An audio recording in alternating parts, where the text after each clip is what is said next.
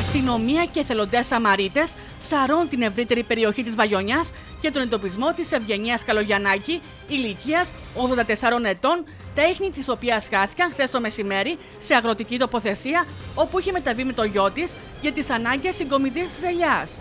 Ο γιος διαπίστωσε ότι η ηλικιωμένη μητέρα του έλειπε από το όχημα που την είχε αφήσει και άρχισε να την αναζητά. Η μητέρα μου ε, έφυγε από το αυτοκίνητο και την έχασα μετά. Με ράβιζα εγώ αλλιώς και ύστερα που κοίταξα με εξέλιπε. Το μεσημέρι γύρω στις 2 η ώρα το Δύο, καταλάβατε; δύο η ώρα, ναι, δύο η ώρα. Φάγαμε μαζί το μεσημέρι. Έψαξα εδώ πέρα γύρω γύρω. Ναι. Δεν την βρήκα.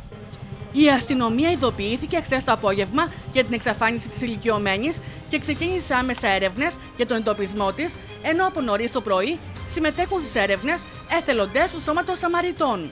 Χθες το μεσημέρι, δύο η ώρα περίπου το μεσημέρι, ε, συναντηθήκαμε με τον ξάδερφό μου σε αυτό το δρόμο που πάει ευθεία κάτω Και μου λέω, Τι κάνεις, μου λέει, Έχασα τη μητέρα μου. Λέω, Ωραία, ρίξε μια ματιά του. Λέω, Εγώ μάζευα ελιές πιο πέρα και ειδοποίησέ με ότι έχει συμβεί.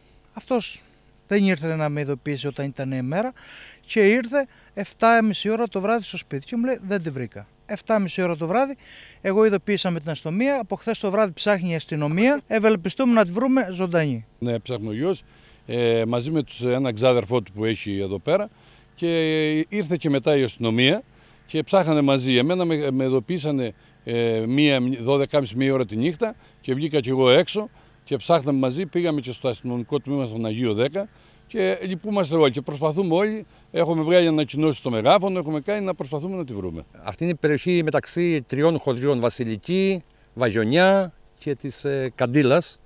Ε, κάπου ουσιαστικά στη μέση του τριγώνου χάθηκε, η αγνοούμενη και έχουμε ξεκινήσει και σκανάρουμε την περιοχή με έναν τρόπο που έχουμε εκπαιδευτεί και έχουμε μάθει. Έχουμε σκανάρει τώρα γύρω στα 18-20 στρέμματα και συνεχίζουμε. Οι έρευνες διεξάγονται μεταξύ τριών χωριών με τους εθελοντές Σαμαρίτε να έχουν σκανάρει δεκάδες στρέμματα στην ευρύτερη περιοχή, ενώ έρευνες πραγματοποιήθηκαν και σε τμήμα του Γυροπόταμου. Όχι, θα βρεθεί εντάξει. Δεν πιστεύω γιατί τα, πο- τα πόδια είναι δυνατά, ας πούμε, δεν έχει πρόβλημα, ας πούμε, περπατάει καλά. Παιδιά, όταν ο άνθρωπος έχει πρόβλημα στον εγκέφαλο, δεν ξέρουμε πού μπορεί να πάει και τι να κάνει. Γιατί επανειλημμένα το είχε ξαναχαθεί, αλλά. Ναι, είχε ξαναχαθεί, αλλά μέσα στο χωριό. μέσα στο χωριό, εκεί γύρω-γύρω από το σπίτι, δε αυτό. Ε, τώρα όμως ξέφυγε η δουλειά. Η περιοχή ευτυχώς δεν είναι, δεν είναι επικίνδυνη. Ε, δηλαδή δεν έχει γκρεμνά και τέτοια, έχει κάτι μικρό, μικρά. Εδώ, ειδικά στο ποτάμι δίπλα, είναι κάπως ε, επικίνδυνα. Ψάξαμε το κομμάτι του γεροπόταμου που πιθανολογούμε ότι μπορεί να προσπάθησε να πέρασε από εκεί και να πάει στο χωριό της, στη Βαγιονιά. Ναι. Οπότε δεν υπάρχουν κάποια ίχνη από εκεί. Όχι. Η εξαφάνιση της ηλικιωμένης έχει κινητοποιήσει το χωριό με τις έρευνες μέχρι στιγμής να παραμένουν άκαρπες.